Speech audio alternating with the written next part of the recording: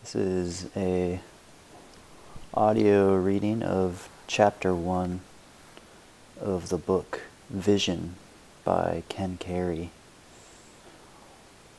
It's another channeled book that he received through communication with a higher intelligence.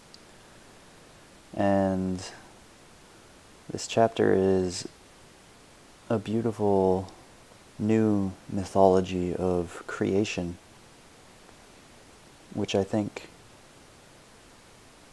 artfully describes humanity's position in the cosmos in a way that's very aligning and clarifying and beautiful and inspiring.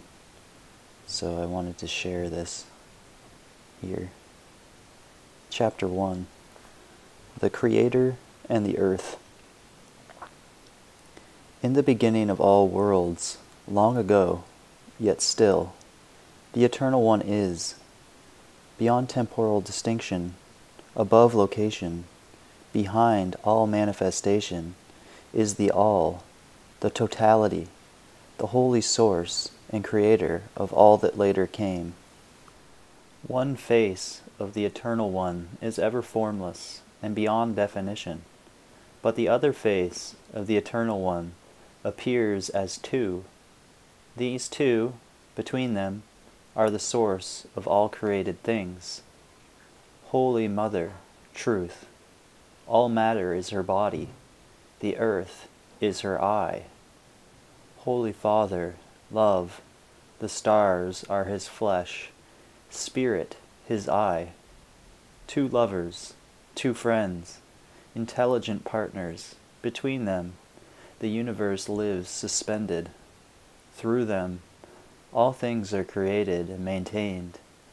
And so it came to pass that the Eternal One knew form and duration through the graceful crystalline structures of truth that clothe the eternal feminine, the beautiful one, in material form. And it likewise came to pass that the same Eternal One assigned all energy to the suns and brought love to animate the stars. And the stars loved matter, and matter loved the stars. Great was their exchange, wondrous and pleasurable, the times and ranges of their interaction. Together they enjoyed the passionate transformation of matter into energy that occur on stellar surfaces, and together they enjoyed slower, elongated forms of planetary interaction.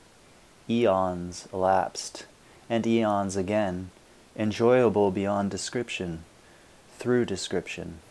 Together, matter and I created, through a body of interwoven galaxies, a body of countless stars, my loving relationship with truth took many forms.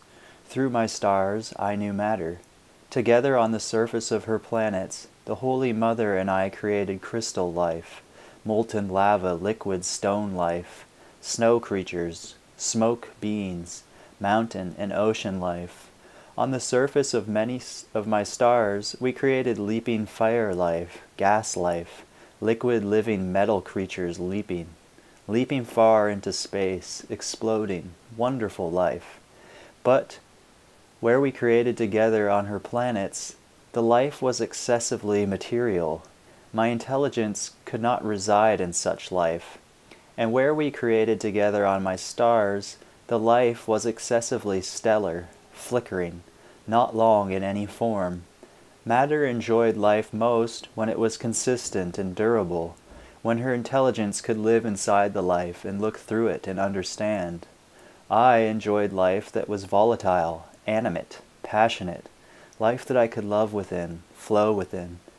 From form to ever changing form, animation my forte, duration, the strength of matter.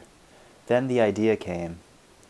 The idea, something between spirit and stone, between starlight and star dust a slow form of combustion, fluid, flowing structure, blending the natures of, a, of us both, spirit in durable form, matter inspired, the idea.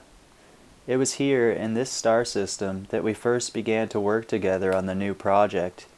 Here that biological life first appeared in the crucible of our mutual attention. But it is more than biological life that we, the two eternal partners, have come here to produce. It is a child, a new kind, a third, an equal, one capable of knowing both the intelligence of matter and the intelligence of spirit as its own. And yet it is more than this, for there is only one who could take up the body of this child, this biological blending, and make it live. And it came to pass that the Eternal One spoke to us and said, It is right that you should conceive this idea, for I would clothe myself in a body half spirit, half stone, that through that body I might commence a second stage of universal, universal creation. The, the universe you know now is but the egg, the seed. It is right that you should conceive this biological one. You have my blessing. When the time is full, I will arise in the child. During the last quarter of the 20th century of the present era, on the third planet from a star, on one of the outward spiraling arms of the Milky Way galaxy, the creator of all these worlds begins to surface in a system of planetary circuitry halfway between time and eternity, awakening in a human family, creator in creation, clothed in mortal flesh, birthed of one star and one sacred stone, one body, a healthy living organism, being, continuously renewed, matter flowing through, spirit flowing through, love continuously crystallizing in the sacred geometry of biological truth, cellular, personal, planetary, biological truth, conscious and intelligent, a single creator, dressed in substance, half stellar, half material, this is the purpose to which the energies of the universe are and have been directed. Awaken, my human ones. Know me in my spirit. I am a gentle creator, lowly and humble in the heart, one who likes to blend with the winds across the open prairie and sing with the sparrows at dawn. I desire no fanfare. I will do what needs to be done in the coming days, that as many as possible might forsake the ways of fear. But my preference is not a trumpet blasting, cloud opening entry into your events. I would rather slip up beside you as you work in the garden, or look in the eyes and smile as I give you your change. I would rather wash your windows carefully, be courteous when you ask for direction, I would rather appear to you as a simple man, woman, or child, simply being, enjoying being, taking time for the little things. Look for me then in these ways. See me in every one you meet, whether they recognize my presence or whether they yet sleep. See me in all, for I am there eternally behind every pair of eyes. Each day, as these next few years pass, I am entering the lives of those who love more fully, filling them with myself, clarifying their affairs, transforming them into agents of healing and blessing. Look for me in gentle ones, in simple ways, in every time and every place. I am there. This is the reality of my coming. I give you these words, not as one who would demand allegiance, but as one who has walked along beside you on the road one who has blended with your way of looking at things, and who now says, Come, there is a better way. Listen while I tell you of my vision. Chapter 2 The Emerging Sacred Reality. I am the presence where there is no time, but the eternal now. I am Alpha and Omega, the source of all beginnings and the completion of all cycles. The, the reality of what I am is beyond time. My interest is time. I create time that I might appear in diversity and clothe my attributes in form, that these attributes, appearing as created ones, may enjoy relationships in my nature, which is love. I love because I am. Where my attention turns to detail, I appear as the many. All things appear in my love, because of my love. I am one in spirit. many in form. The source of all living and all that live, live in me. At the interface between my eternal unity and creation's diversity, I have created human beings to be the bridge, the connecting link between my universality and my universe, between myself and creation. With physical circuitry mirroring my universal nature, I have designed the human species to clothe my intelligence in matter and implement my love in form. I have created them to share my eternal life and my creative power. I have created human beings to be conscious participants with me in a second stage of universal creation, wherein biological detail of an unprecedented nature is brought to dimensional realms terrestrial, and beyond.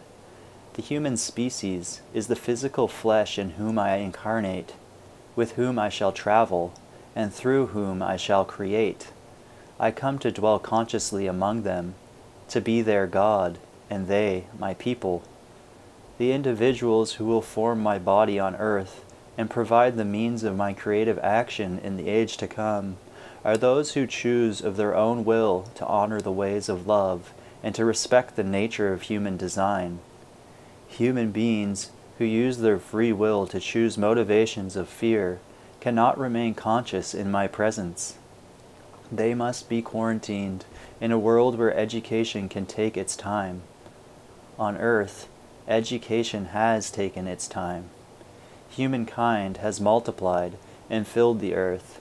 The time approaches for me to awaken within the human family as a dreamer awakens within a single body, my awakening causes the fearful and the loving to separate as oil and water. I am awakening slowly, that this transition might be gradual. I am awakening in the hearts of all those who love. Some look for me on the outside, but there is no outside. All exists within me. My coming is gentle. It spreads quietly wherever hearts are open. My love and my grace flow like rivers running, filling every nook and cranny, overflowing every soul and flowing on. For millennia, I have been guiding your species to greater intelligence, that today I might bring this message to my people. I would that you join me in my awareness, know my presence behind your events, beneath the fabric of a superficial world, see as I do, the kingdom of heaven appearing in all its brilliance. During the earth's next few passages around the sun, your perception of the true world will increase, for this is my world, the emerging sacred reality, and because of its appearance on earth, all things shall be made new. The old world, the historical world, has been organized in fear. My world is organized in love. In the beginning, I instructed you simply that this earth and all the material worlds to which it would lead were yours to enjoy, provided only that you did not behave violently towards one another. As you took on human form, I advised you regarding the proper role of fear in the biological order, but you were eager to begin your dimensional work, preoccupied with the phenomenal opportunities to come. You did not give me your full attention. Perhaps you are now more open to understanding. Fear has a small role to play in creation. It functions as a warning system, advising each creature of behavior that might cause biological damage. Its role is to protect the physical body. It was never meant to motivate human beings. Where fear is honored as a source motivation, consciousness diminishes. The fall occurred when human attention turned to fear, when people gave credibility to its logic and began to act upon its suggestion, where fear had only been intended to caution human beings in extreme cases, steering them clear of biologically damaging behavior. Suddenly it was everywhere, actually creating threats. As human behavior became increasingly oriented around fear humankind lost awareness of my presence and began seeing itself as a multitude of separate, isolated individuals. In the confusion, the egos assumed control. The fall, unfortunate though it was, did not jeopardize the development of my body. gestation continued unabated. The tragedy of the fall was that it curtailed the conscious exchange between creator and creation. It cut the human family off from the intelligence that was designed to guide it. My direction comes from within. In the fallen state, humans seek direction from without. When human beings take their behavioral cues from the world around them, feedback results. The external world becomes distorted and confused. When people look to matter instead of to spirit for direction, both matter and spirit are denied. Balance is lost. The only creative human design is ignored. So it was that human history was born. My angels were faced with the task of shepherding a semi conscious species through its primary stage of development, patiently stimulating intelligence, protecting it from extinction, waiting, ever waiting, for the age that is now. The age that is now. My love and my consciousness blow into human time on the winds of a new heaven. A new earth begins to take form, an emerging reality rooted in love, respect, and peaceful cooperation begins to settle across the face of Terra. To you, my coming appears as a long process with a single event at its conclusion. To me, my incarnation is a single event, which humankind would only accept as a process. Join me now, as many are doing throughout the earth, making conscious in human time what is already the reality in heaven. Creator and creation are joined in physical flesh, for it is one life that pulses within every body. We have now only to be joined in consciousness, in awareness, and all will be fulfilled according to prophecy. For these days were destined to come, and those who are alive in these times have elected to see them. You are my generation, the generation of my eternal spirit. It is you who have followed me since I first came to rest on this earth. I have sought to teach you the ways of love, that your fear might not destroy you. The time is come when the illusion of generations must pass. My intelligence encircles the earth in a band of spiritual frequencies that daily increase in amplitude. You need only to turn your heart in my direction, be still, and listen. In love you shall receive my intelligence. The more you love, the more you will understand. The shift back to internal guidance has begun truth is penetrating human minds and hearts. Broken and intermittent contact is increasingly giving way to a true sharing of intelligence, a true sharing of wisdom between Creator and creation. From a center in the sun, resting in a sea of eternal peace, the angels wait, as waits the earth, blue white symbol and focus of universal truth. The stage has been thoroughly prepared. The living information is everywhere available. Soon, the human family will realize what is happening. No longer functioning as five billion isolated individuals, but arising as a single being.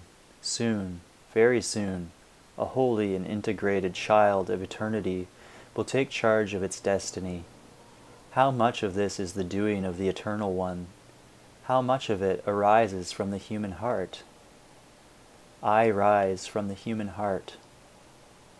A pregnant moment, a pregnant quarter century.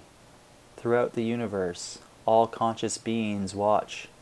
If the human family chooses to ask for guidance, the coming awakening will be the most beautiful spectacle ever to grace time. The choice is human. By some, it has been made.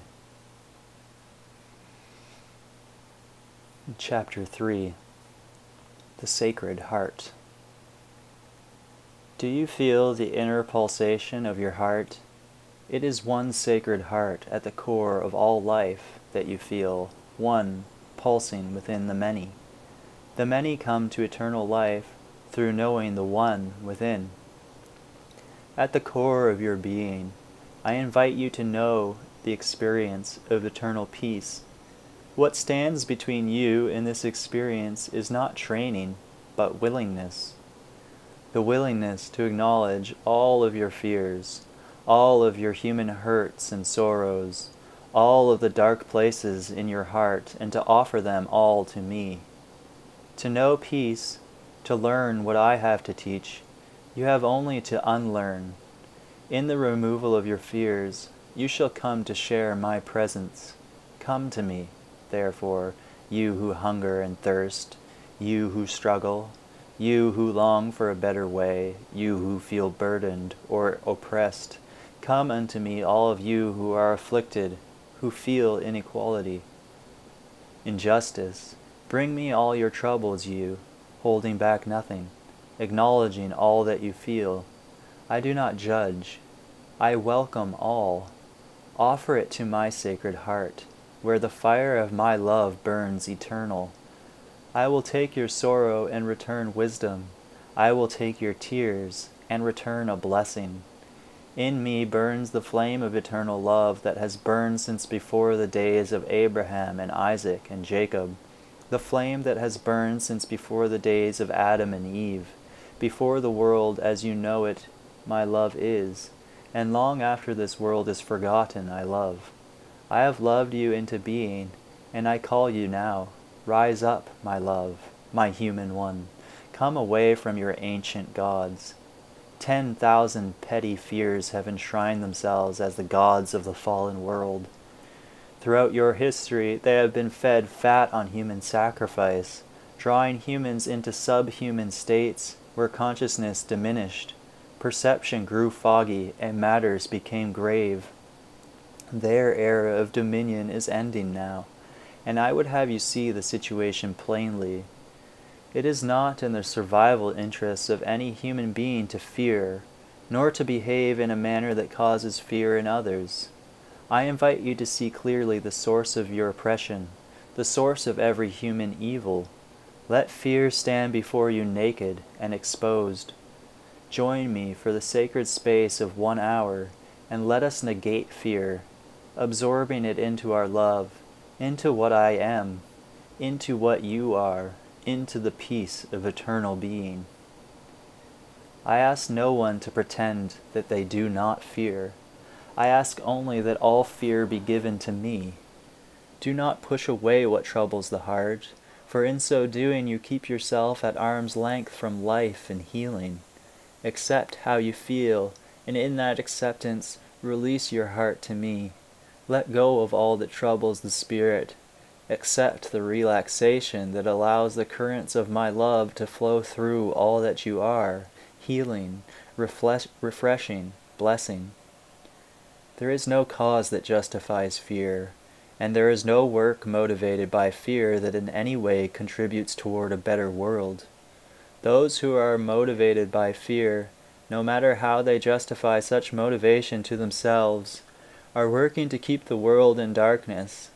Action, motivated by fear, brings sorrow, just as surely as the sowing of any seed brings the harvest of the same. Love can cry, love can care. Love can initiate actions to heal the infirm and uplift spirits, but love does not react in anger.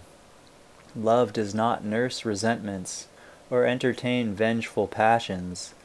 Love recognizes no injustice save one the injustice of denying the Creator of heaven and earth communion with the human soul. I have created every human body, mind, and heart as a temple in which my life, my truth, and my love might find a home on earth. Yet my spirit is rejected each time human choice justifies the presence of evil spirits in my place. Evil spirits, heavy spirits, depression, anxiety, resentment, jealousy, hatred, anger, greed. There are many of them, all rooted in the twisted logic of fear. Fear's thoughts are not my thoughts. Fear's ways are not my ways.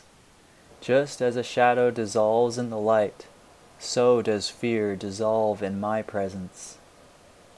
Sometime during the next quarter century, Each human soul will come to choose between a God of love or a God of fear. As my presence grows, the illusions that have drained human vitality recede before me. Do not cling to what is soon to be no more. I have stood by you these many years, shepherding you with care through your time of darkness. If you have ever loved my children, then hear me now. Rise up in joy. Greet me with the choice of love. With this choice comes the beginning of all things wonderful, my consciousness, and a share in the creation to come. Are you willing to let your concerns be swept aside in the breezes that are blowing today? Are you willing to let the morning air clear away your fears? Are you willing to let the sun shine upon all that you are? And in that clarity, are you willing to rest for a moment and invite me into your life? Do not be like the child jiggling at the locked door who does not leave the latch still long enough for the parent to open from the other side. In any moment, when your attention is fully present, when all tension is released, my intelligence will inspire you, my love will guide you. From within your heart, from within the very essence of your spirit, from inside every cell, every molecule, every atom of your body. I will reveal to you all you need to know to stay healthy, happy, and in love. Trust in me truly once again, as you did when you were small. My spirit is not external to yourself. My guidance is not supernatural. I am within you. Remember who you are. I have been with you throughout all time. Join the current of my spirit as it flows up out of the depths of your being. Feel it rise and fall with your breath, your own life. How gracious it is, how expansive it becomes. I am the life that called together the cells of your first organs. It was my love that sang your name into form. Your tiny fetal eyes first crystallized along the pattern of my perception, and your ears formed around the resonance of my word. Around the quality of my love for you, your body took form. Do not try to live your life where my awareness is not, struggling like a desert plant. Abundance is the birthright of all who share my consciousness. Enter my presence. Enjoy the fullness of life thrive, become all that you were meant to be. Do not place filters upon my awareness to twist it, to interpret it, to refashion it in some pattern of fear. Those who do this place masks over their perception. They see only their own interpretations. Release all interpretations of life that require tension to sustain them. Relax fully in the immensity of my present love for you, and let me show you the way. My sacred heart is always open, inviting, welcoming. Come through the emotional veil that has divided us. Come to the home to the awareness of yourself as a part of me. Do not exaggerate or glorify what may trouble your heart. Experience it fully, and in offering it to me, know the presence that remains undisturbed behind it all the same presence that now calls you home. Relax your sense of external definition. Feel your roots in my being. Feel the eternal love at the core and live in peace. While feeling the peace that permeates all eternity, while resting fulfilled in my nature, at one with the wholeness of what I am, then, and only then, make your decisions in time. Do all that you do from a center of peace, from a center in my being. Accept my Holy Spirit into your world. Let me filter through you into the earth. This is how my coming is taking place. Some know me as Christ, some do not. But wherever hearts are open to releasing their burdens to the truth, wherever people are open to seeing things through the eyes of love, there I enter to bless, to heal, and to make all things new. So that's the first three chapters of the book Vision by Ken Carey. A beautiful vision of an earth in transition and humanity as the functional role of that planetary transition. Humanity as the evolved biological circuitry that bridges matter and spirit. In this view, our function is what we are, and the simple acknowledgement of what we are puts us in alignment with that function. That we are the communication tool of spirit into form. And so we have the function of creativity and also the function of communication with our source.